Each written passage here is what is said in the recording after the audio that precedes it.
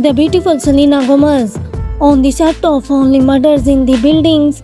Thanks for watching and please don't forget to like and comment on my video and don't forget to subscribe my channel and click the bell icon for latest news.